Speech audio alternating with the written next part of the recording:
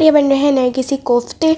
और वैसे तो मम्मा बनाती हैं मटन के अंदर बट मुझे चिकन पसंद है तो इसलिए मम्मा ने आज चिकन बनाए हैं। और चिकन के भी बहुत टेस्टी बनते हैं तो आइए मैंने सोचा क्यों ना आप लोगों के साथ भी ये रेसिपी शेयर की जाए। So let's get to the kitchen तो गाइस अब हम आ चुके हैं किचन के अंदर, और अब मम्मा आप लोगों से रेसिपी शेयर करेंगी तो आपने मम्मा इसके अंदर क्या क्या डाला है? अच्छा यहाँ मैंने लिया है चिकन का एक किलो कीमा, जिसमें मैंने दो अनियन चॉप करके डाली हैं और दो हरी मिर्चें डाली हैं काट कर थोड़ा सा हरा धनिया डाला है। इसके अलावा मैंने जिंजर गार्लिक पेस्ट डाला है टू टेबल स्पून और फिर सारे स्पाइसेस डाले हैं। मैंने रेड चिली पाउडर डाला है वन टीस्पून और उसके बाद मैंने ज़ीरा पाउडर डाला है वन टीस्पून और सॉल्ट डाला है। हसब जायका अपने टेस्ट के मुताबिक डाल लें आप। और टू टेबल स्पून मैंने धनिया पाउडर के डाले हैं। इसमें ना, और इसमें मैंने ऐड किया है टू टीस्पून खशखश का पेस्ट उसके अलावा मैंने फोर टीस्पून जो है ना, वो डाले हैं भुने हुए चनों का पाउडर। जिससे अच्छा टेस्ट आता है। बहुत से लोग बेसन भी डालते हैं। बेसन का पाउडर लेकिन ना, मैं जो है वो डालती हूँ भुने हुए चनों का पाउडर अब मैंने ये सारी चीज़ें इसमें ऐड करने के बाद इसमें चॉपर में एक दफ़ा डाल के दोबारा से इसमें सारी चीज़ें मिक्स कर ली हैं, ताकि अच्छे से ये सारी चीज़ें इसमें मिक्स हो जाएँ। अब इसमें मैंने वन टीस्पून गरम मसाला पाउडर भी डाला है।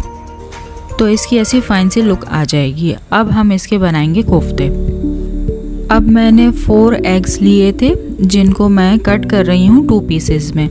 वैसे तो आप अपने हिसाब से बना सकते हैं, आप है ना फुल एग का भी है ना, बना सकते हैं कोफ्ता। लेकिन यहाँ मैंने हाफ़ कर लिए हैं। तो हमारे तकरीबन आठ है ना को, नरगिसी कोफ्ते बन जाएँगे। फिर मैंने अपने हाथों को हल्का सा ऑयल से ग्रीस किया है। फिर उसके ऊपर मैंने ना इसको कवर कर लिया है एग्स के ऊपर कीमे को।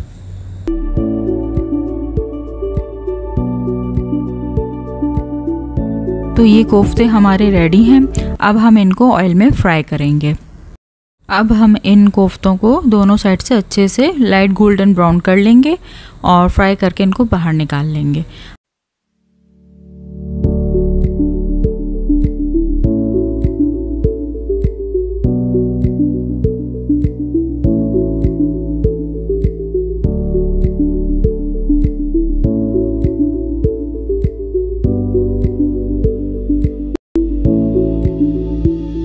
अब इसी ऑयल में हम अपनी ग्रेवी तैयार करेंगे। यहाँ मैंने उसी ऑयल में जिसमें हमने कोफ्ते फ्राई करे थे वन कप अनियन का पेस्ट है ना, डाला है ऑयल में। अनियन का पेस्ट डालने के बाद अब हम इसकी अच्छी से भुनाई करेंगे। फिर अब हम इसमें डालेंगे one tablespoon ginger garlic का पेस्ट फिर इसको भी हम थोड़ा सा भून लेंगे। और उसके बाद हम वन कप टोमेटो पेस्ट भी डालेंगे इसके अंदर। फिर हम इस, इन सब मसाले की अच्छे से भुनाई करके अब हम इसमें डालेंगे सारे स्पाइसेस स्पाइसेस में मैंने लिए हैं सबसे पहले टू टेबल स्पून धनिया पाउडर के और हाफ़ टी स्पून जो है हल्दी का है और वन टीस्पून है लाल कुटी हुई मिर्च और वन टीस्पून ही है लाल पेसी हुई मिर्च और नमक जो है वो हसब जायका है। ये सब मसाले इसमें ऐड कर देंगे और अब हम थोड़ी सी देर मसाले को पकने के लिए छोड़ देंगे। तो अब हम इसको कवर कर देते हैं 15 से 20 मिनट्स के लिए। आफ्टर 15 मिनट्स अब हम इसमें वन कप योगर्ट का ऐड कर देंगे।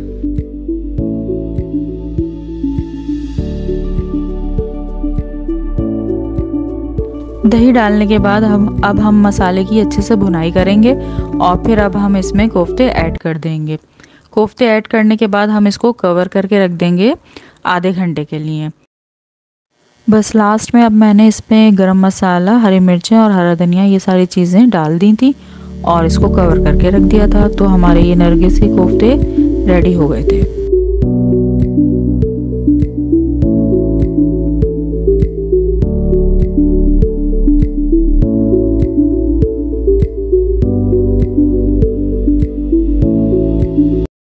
टेस्ट में तो बहुत ही मज़ेदार है ये नरगिसी कोफ्ते and this is my favourite और बस खाना खाने के बाद फिर हम निकले थे बाहर थोड़ी सी आउटिंग करने के लिए।